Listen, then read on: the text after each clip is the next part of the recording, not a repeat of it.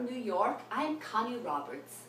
I'd like to thank the judges of the iYeats Poetry Competition in Sligo, Catherine Phil MacCarthy and Peter Sirr for selecting my poem, Oasis, for the highly commended award.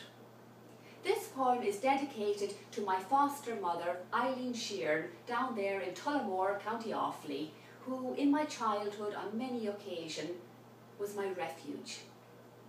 Oasis. Back when the collar and the wimple were law, when you didn't cross the cassock or the habit, she stood her ground. When she'd meet the Cheshire Cat nun in town, she'd nod, nod, nod, then carry on about her business. Put down a few pounds on a grand set of china in Joe Feely's. Pick up an extra roll of wallpaper for the end room or a few balls of wool for that Aran jumper. When the head nun wanted to send me in my 14th year to the doctor's house in Kilbeggan to housekeep, she told her she had work around her own house. Oh, I've windows to wash, walls to paint, sister.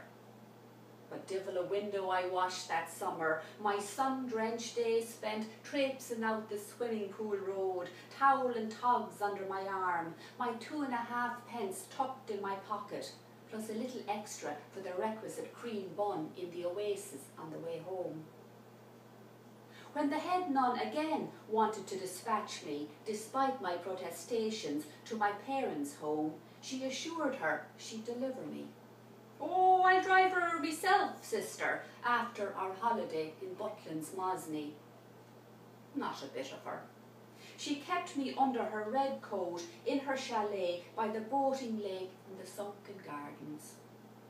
And when I aged out of the orphanage and was released into her care, warned, mind you, not to sponge off her generosity to soak up my secretarial studies, be a quick brown fox, not a lazy dog, she did what any good mother would do when her pup is hurt by word or world put her foot on the clutch, shifted gears, pulled over to the side of a quiet road.